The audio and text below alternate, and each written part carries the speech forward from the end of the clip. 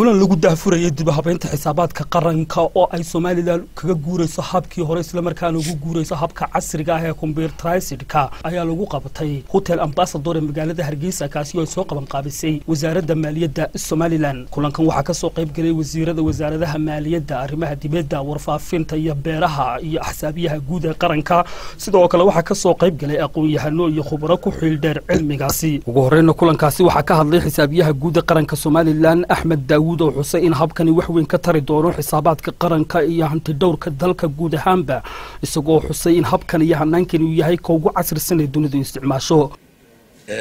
Tijaabada hadda aan hayno ee systemka la jitaaminayo ee afarta wasaaradood iyo qaybta miisaaniyadda iyo hantidhowrka guud iyo xudunta xisaabaadka guud oo hawshan xudun ah ay hadda wadaan tijaabadu si sidii aan u talagalnay ilaa oo bishan aan bilownay socodkeedu aada buu u fiican yahay kolley way jirayeen hawl la bilaabaa inay kolley sidii loogu talagalay inana mataqaanaan u soconayn hase haatee loo gudbi doono in khibrad weyna laga helo lagana faa'iidaysto waxtar ay keento geesta kale waxaa halkaasi hadal ka soo jeediyey wasiirka wasaaradda warfaafinta somalilan cismaan cabdulaahi saxar diid cadaani oo xusay in habkan casriga ah ee dubhabeynta xisaabaadka qaranku uu yahay mid loo baahnaa islamarkaana la wada gaadhsiin doono guud ahaanba wasaaradaha dalka. Marka ay ka baxaan afarta wasaaradood ee lagu tijaabiyey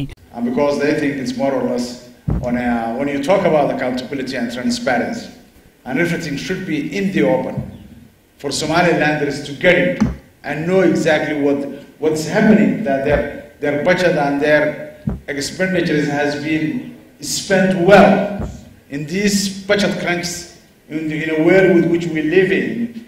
I thought those who really got it, and Simpson was one of them, and Dr. Saad and a lot of other people.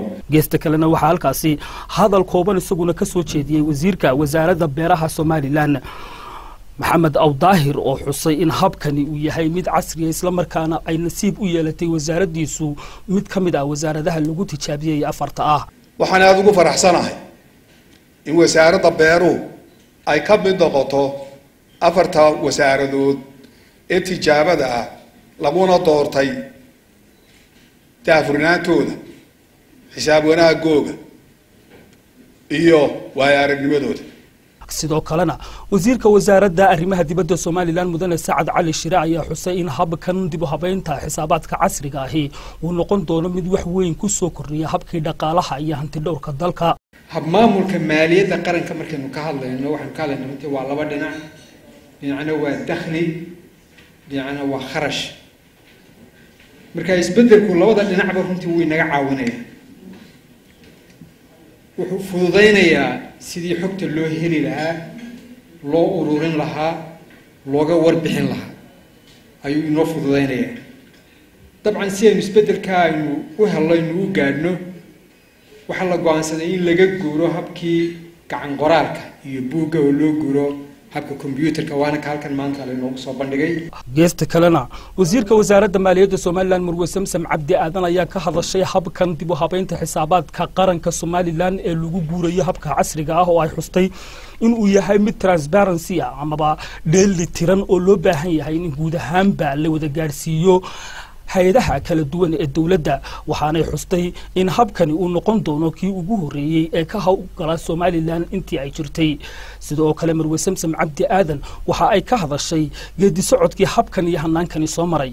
Waxa weeyaan haddaynu dadka qofka mas'uulkii hadduu ka fakero awoodahaagiibaa badh aada bixinaysaa. Markaynu iminka reformka ka hadlaynoo kale had iyo jeer werwarka galaa ee muddadaa uu soo dhutinaya waxa weeyaan awooddaad adigu haysatay maxaad iskaga dhiibaysaa maxaad wixii wasiirka uun ku xidhnaa? Aada ummado kale ugu samaynaysaa. Laakiinse taas waxay noqonaysaa inaynu dhiibno inaynu samayno wax mustaqbalka carruurta caruurteedu ay u aydo runtii waxa weeyaan horta dadka inoo yimidna way ka yaabeen. Somaliland somaliland waa wadan dad wanaagsan leh runtii. Wuxuu leeyahay inta yara hadalka mooyaane waa dad aada wax u barta. Waa dad ay ka go-an tahay inay somaliland shaqayso. Samsam cabdi aadan maray ka hadlaysay horumarka somalilan ay hiigsanaysana waxa ay tidhi.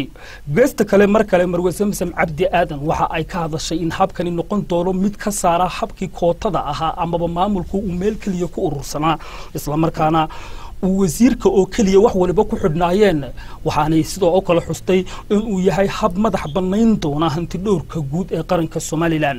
Qayb kasta oo bajidkeena soo gelaysa waxaa meel loo deeyey waa siduu adduunku ku shaqeeyo inuu u madax bannaan yahay sidaa ay systemku sheegaya inuu ku shaqeeyo. Inaanu influence kale ama wasiire ahaado ama madaxweyne ahaado ama madaxweyne ku-xigeen inay ku shaqeeyaan sidii loo dhaariyey ee loogu talagalay.